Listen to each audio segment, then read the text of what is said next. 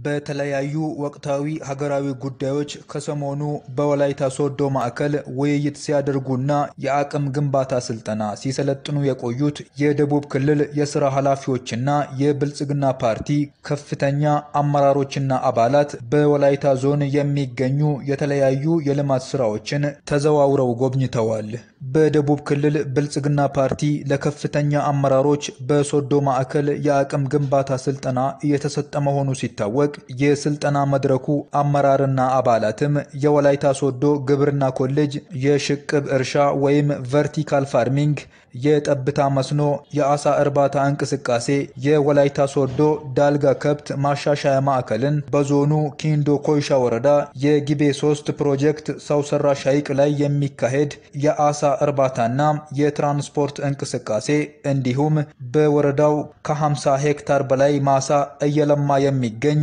ዘመናዊ የሙዝ ምርት በአመራሮቹ ከተጎበኙት የልማት ስራዎች መካከል ይጠቀሳሉ።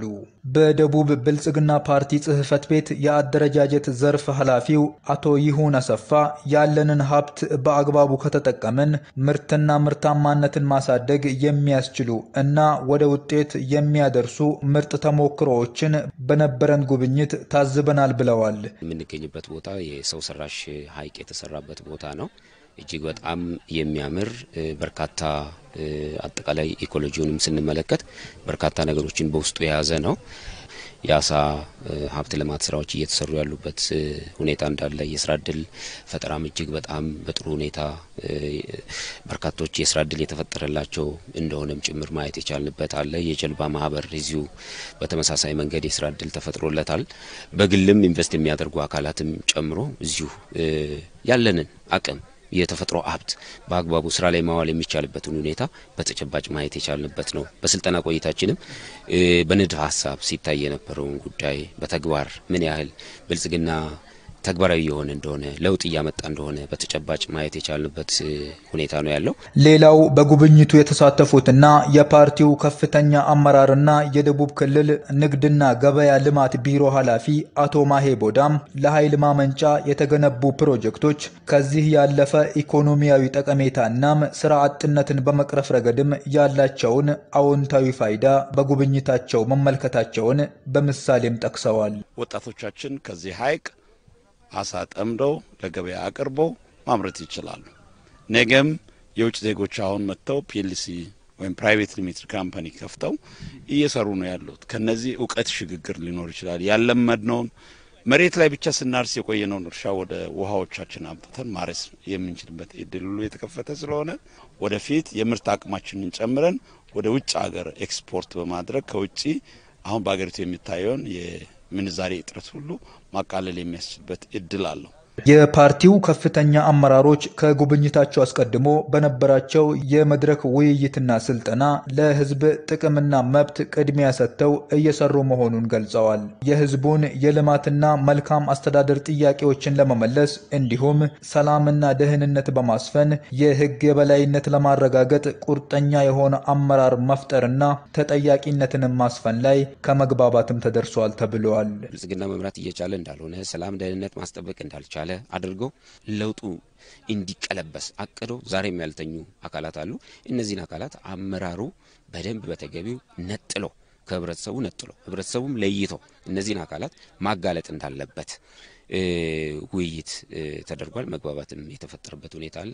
ሰላምና ደህንነት የማስከበር ጉዳይ የሁላችንም ጉዳይ ነው። በዋናነት ደግሞ መሪው መንግስት በዚህ ጉዳይ ላይ ትልቅ አቋም ይዞ ጠንካራ አቋም ይዞ በጉባኤውም የተቀመጠው አቅጣጫ የዘጠና ቀን እቅድ ብለን ባዘጋጀነው ውስጥም ትልቁ የሰላምና ደህንነት የህዝብ ሰላምና ደህንነት የማረጋገጥ ጉዳይ ነው። በዚህ ላይ ብልጽግና ጠንካራ አቋም ይዞ እየሰራ ነው። ለውጦችም እየመጡ ነው። ውጤቶች እየመጡ ነው። ባሉበት ቦታዎች ሁሉ የዜጎችን ክብር፣ ፍትህ በማስጠበቅ የህግ በላይነትን በማስከበር ለመስራት ከዳር እስከ ዳር ሀገሪቱ በሰላም ተጠብቃ የትኛውም የውጭ ኃይል ጣልቃ ገብቶ ለመበጥበጥ የሚፈልገውን ሁሉ በሩን ዘግተን ቀጥታ መምራት የሚያስችል አቅምም ብላትም አመራሩ አዳብሮ መስራት እንደሚችል ያንን አሳይተናልና ከዚህ በኋላ መሬት ላይ በዛ ልክ ቆጥሮ ኃላፊነት ወስዶ እንዲመራ ስልጠናው ላይ በጣም የተግባበንበት ሁኔታ ነው ያለው። የብልጽግና ፓርቲ ከፍተኛ አመራሮቹ ጉብኝት ባደረጉበት የኪንዶ ኮይሻ ግቤ ሶስት ሰው ሰራሽ ሐይቅም ይሆን በወረዳው እየለማ ባለው የሙዝ ማሳ በተለያዩ የስራ ዘርፎች የተሰማሩ አካላትና ድጋፍ ሰጪ አመራሮችም በእነዚህ አካባቢዎች ከቅርብ ጊዜያት ወዲህ የስራ ዕድል አማራጮች እየሰፉ መምጣታቸውን ገልጸው አመራሮቹ ትኩረት ሰጥተው በመጎብኘታቸውም ደስተኞች ነን።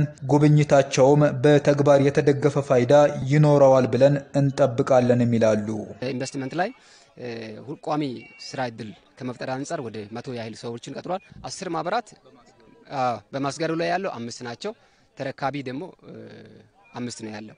እነዚህ ሁሉም ያው functional ናቸው እየሰሩ ያሉበት ሁኔታ አለ።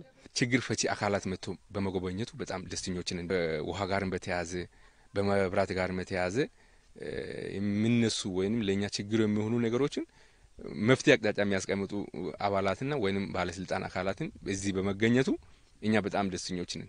በጉብኝቱም በምክትል ርዕሰ መስተዳደር ማዕረግ የደቡብ ክልል ትራንስፖርትና መንገድ ልማት ቢሮ ኃላፊ ዶክተር አበባየሁ ታደሰን ጨምሮ ከጉራጌ ሀላባ እና ጎፋ ዞን የተወጣጡ የብልጽግና ፓርቲ ከፍተኛ አመራሮች ተሳታፊዎች መሆናቸውም ታውቀዋል።